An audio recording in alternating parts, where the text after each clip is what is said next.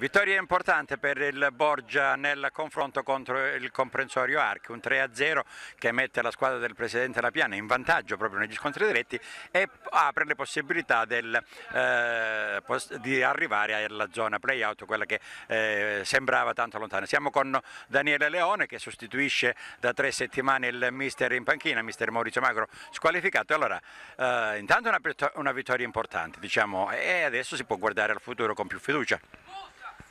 Sì, no, è stata una partita sicuramente che ci dà la speranza di poter eh, raggiungere il nostro obiettivo che è quello della salvezza. Brucia non aver vinto le altre partite perché durante la settimana ci alleniamo sempre bene, diamo sempre il massimo, sempre costanti, eh, lo dimostra il fatto che all'allenamento siamo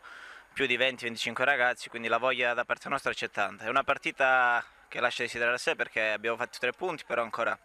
c'è un campionato da giocare, un girone di ritorno quindi già da, già da domani penseremo alla prossima e il risultato ci ha fatto bene per questa settimana. Diciamo che da quando siete riusciti a recuperare alcuni giocatori importanti, tipo Alfieri, tipo Mellace, e con l'acquisto di questo nuovo ragazzo che è venuto dal Catanzaro avete un pochettino assestato la squadra e adesso siete già alla seconda vittoria consecutiva in casa.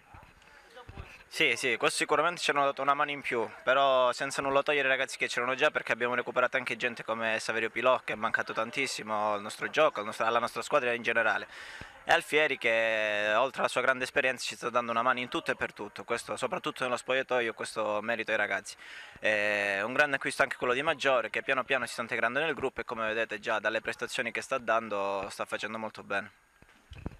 e per nominare anche qualcuno, Ambrogio che ha fatto quel lancio alla fine, però uh, nominiamo tutti, dobbiamo nominare e dare merito sicuramente a Velio Passafaro che con la sua tripletta vi sta portando in alto nelle posizioni, diciamo in alto rispetto a quello che eravate prima.